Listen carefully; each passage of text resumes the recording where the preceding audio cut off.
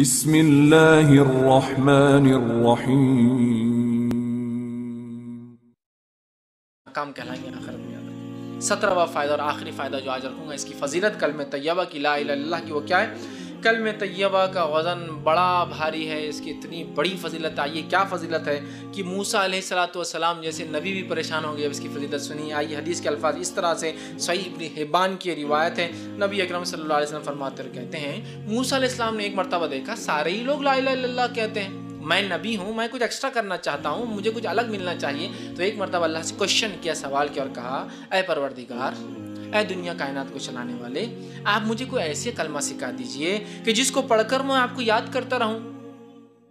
ان کو کیا لگا؟ وہ نبی ہے۔ کچھ ہٹ کر پڑھنا چاہیے نبی نے، کچھ ہٹ کر عبادت ہونی چاہیے۔ تو کہ اللہ، کچھ ایسا کلمہ بتاؤ کہ جو کلمے کو میں پڑھوں تو اسپیشل آپ کی عبادت ہو۔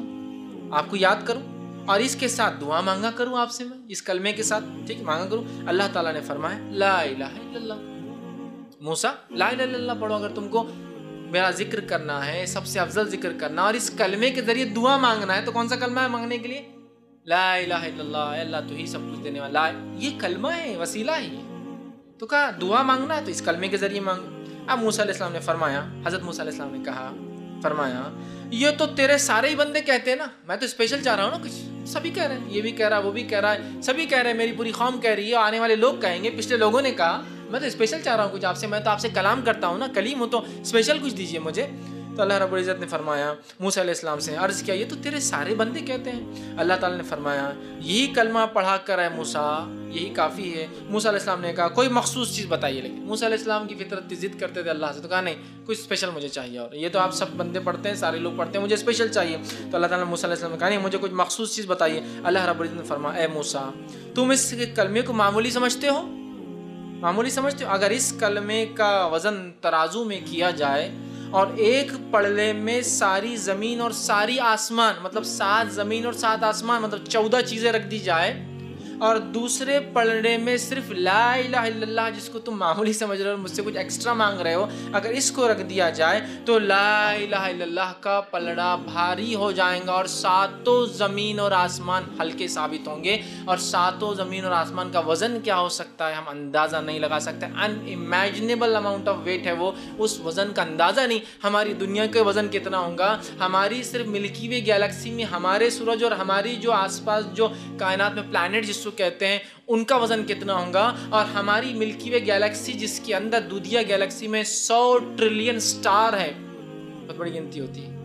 سو بلین کا ایک ٹریلین ہوتا ہے، سو ٹریلین سٹار ہے۔ اور ایک ایک تارا سورج سے بھی کہیں کہیں گنا دس دس، بیس بیس، تیس تیس، چالیس چالیس، بلکہ سورج کے مقابلے میں تیرہ ہزار مطلب تیرہ مطلب تیرہ سو بلین ٹائمز اس کا ویٹ زیادہ ہے۔ مطلب وہ حساب بہت بڑا ہے، یہ ہم کر نہیں سکتے آسانی سے، ہمارے کیلکولیٹر بھی نہیں کرتے، بارہ ڈیجٹ سے آگے چل جاتا ہے یہ۔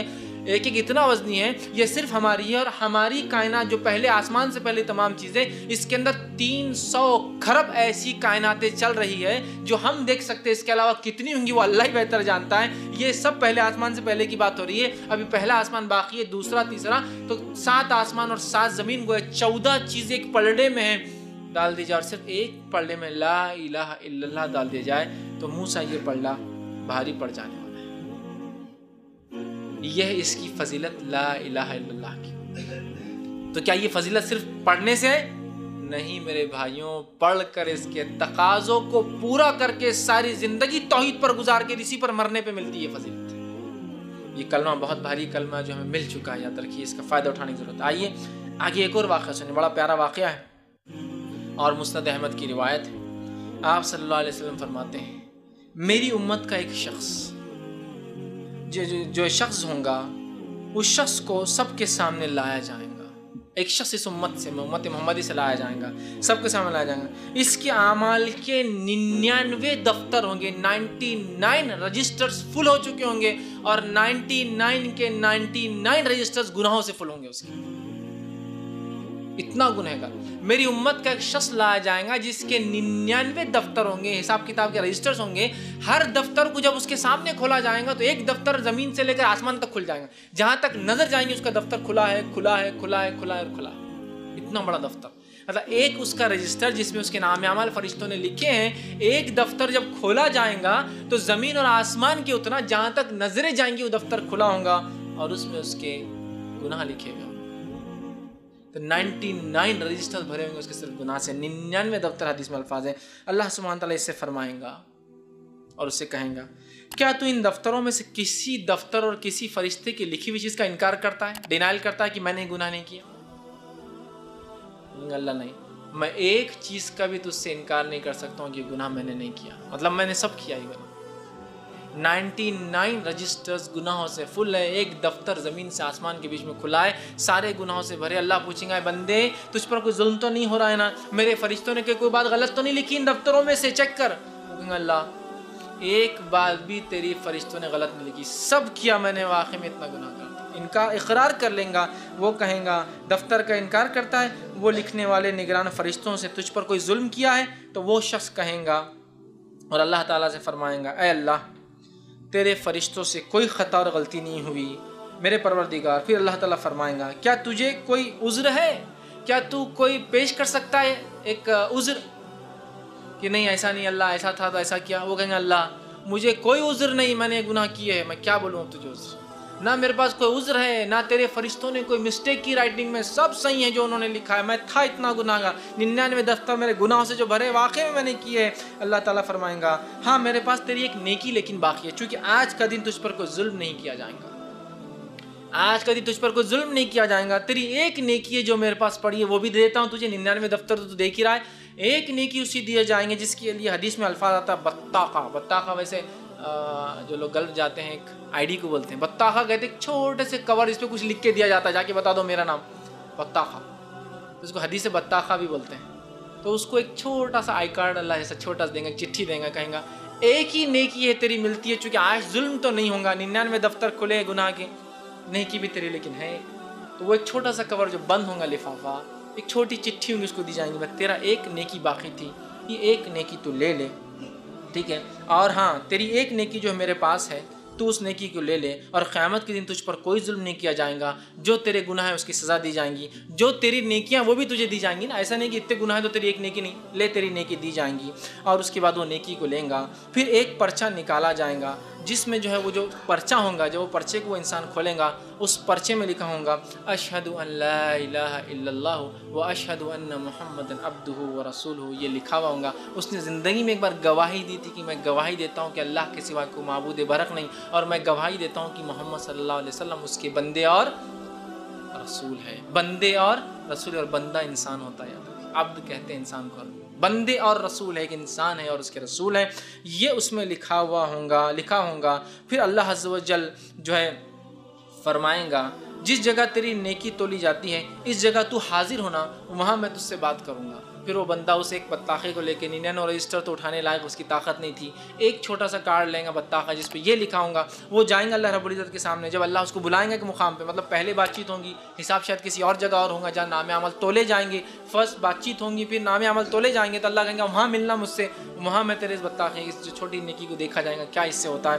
اور وہ انسان پریشان ہوگا کہ ایک نیکی ننانوے دفتر میرے فل تھے گناہوں سے، اور اللہ تعالیٰ جو ہے کہیں گا کہ وہاں آ کر مجھ سے ملنا، حاضر ہونا۔ وہ شخص کہیں گا، اے اللہ یہ پرچہ ننانوے دفتروں کے مقابلے میں کیا ثابت ہوں گا؟ کیوں مجھے بلا کے وہاں رسوا کر رہے ہیں؟ ڈال دیجیے جہنم میں اٹھا کے وہاں ہوں۔ اتنا سا ایک بطاخہ ایک چھوٹا سا لے کر کوپن لے کر آ رہا ہوں اور وہاں کیا ثابت ہوں گا؟ نائنٹی نائن رجسٹروں کے مقابلے میں ایک نیکی کیا میری ثابت ہوں گی؟ کیوں آپ ذلیل کرنے وہاں بلا رہے ہیں؟ یہیں مجھے جہنم میں ڈال دیجیے تو اللہ کہیں گا، نہیں، آج کے دن ظلم نہیں ہوتا ہے۔ جب تولے جائیں گے، بولے تو تولے جائیں۔ گے ظلم نہیں ہونے والا۔ تو تم وہاں آ جانا۔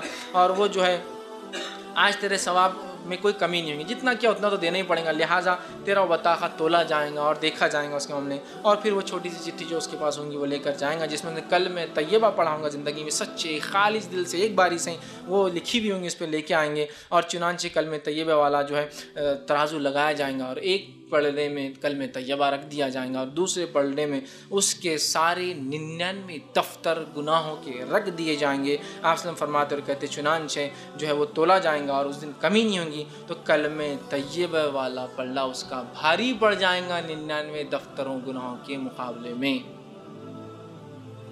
چونکہ اس نے ایک بار سچی گواہی دی تھی اللہ کے بارے میں، تو نائنٹی نائن اس کی دفتر جو گناہوں کے تھے ہلکے پڑ جائیں گے اور ایک کلمہ اس کا پلڑا بھاری رکھا جو ہے، بھاری پڑ جائے گا۔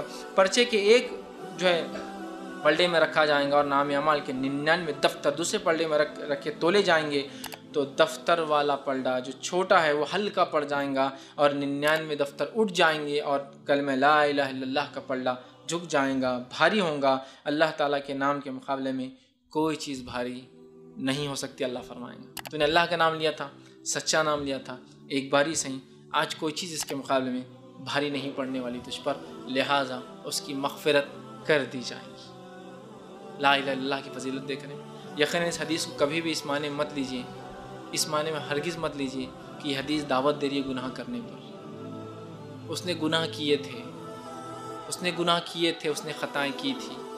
لیکن اس کے اپنے رب سے معافی تھی اور اس کے پاس لا الہ الا اللہ سچے دل سے بولا گیا باقی تھا۔ میں اور آپ نہیں جانتے واقع میں۔ اور گناہ یاد رکھی جو ہو جاتے ہیں ایک الگ چیز ہے۔ گناہ کرنا جان مجھ کے یہ اللہ کے خلاف ضد ہے یاد رکھی، یہ سرکشی کہتے ہیں۔ معلوم ہے اس کے عذاب نہیں کیا ہوں گا، دیکھا جائے گا، کریں گے، نہیں۔ اس نے کیے، وہ نادم تھا، اس نے توبہ کی ہوں گی اللہ نے توبہ قبول کر لی تھی اور اس ایک کلمے کے مقابلے میں اس کو معاف کر دیا۔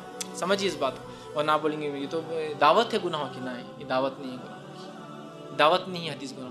یہ حدیث بتا رہی ہے، اس نے سب کچھ جاننے کے بعد بھی گناہ کیے، لیکن اپنے رب سچی معافی مانگی۔ اور نیکی کچھ تھی تو وہ اس کا عقیدہ تھا، جو بالکل صحیح تھا، جو چھوٹا سا ایک چٹھی میں تھا، لیکن وہ چھوٹی چٹھی بھاری ہے کہ تو اس پہ اللہ کا نام تھا اور باقی گناہ ہلکے پڑ جائیں گے۔ چونکہ اس نے توبہ بھی کی ہوں گی اس بات کو سمجھیے، ورنہ اس معنی کو جو ہے بھدے انداز میں حدیثوں کو مت لیا کیجیے کہ گناہ معاف ہو جائے۔ نہیں۔ اور گناہوں کو جان بوجھ کے کرنا سرکشی یاد رکھی تو اللہ تب تو نہیں معاف سرکشی معلوم ہونے کے بعد بھی کر رہا ہے۔ مطلب رول بنائے بانے کے بعد توڑنے کو آپ بول رہے ہیں، فائن بھر دوں گا۔ نہیں، یہ نہیں ہوتا اسلام۔ بہرحال تو اس کو معاف کر دیا جائے گا۔ تو قلب طیبہ میں چونکہ اللہ کی وحدانیت ہے، اس کی توحید ہے، اس کا ایک ہونا ہے۔ اس کا نام ہے اللہ جو سب سے اس کو پیارا نام ہے اسی نام سے اس نے اپنے آپ کو پکارا کئی بار۔ تو بہرحال وہ ہے، اس وجہ سے پردہ بھاری ہو جائیں گا۔ تو کلمہ توحید صرف کلام نہیں ایک جملہ نہیں ہے۔